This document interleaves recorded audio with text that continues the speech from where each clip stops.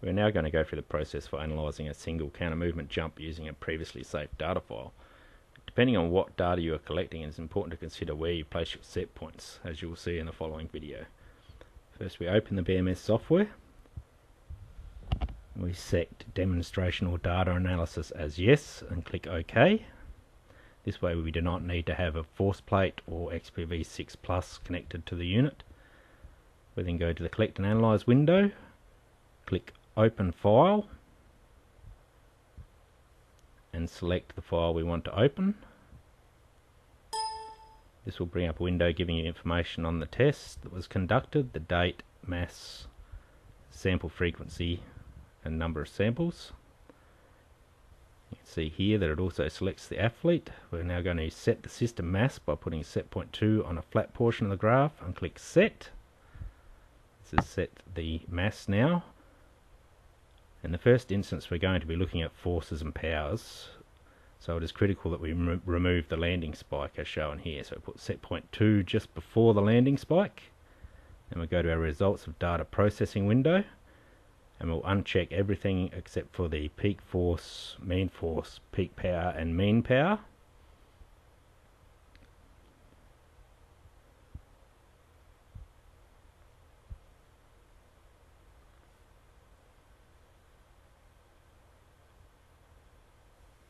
Once this is done, we'll go to the squad file and make sure we have the athlete who conducted the test selected. In this case it was Mitch Alsop.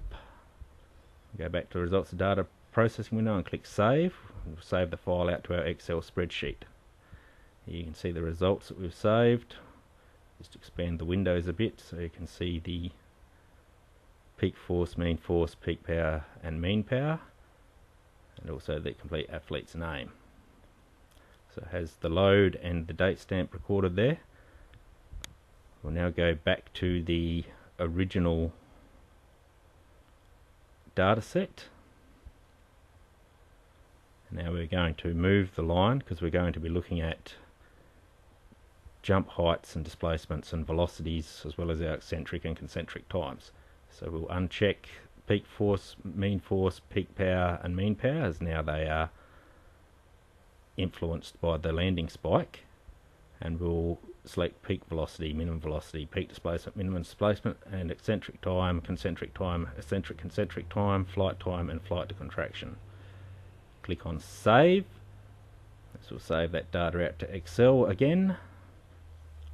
And this time we can see the other variables that we have saved.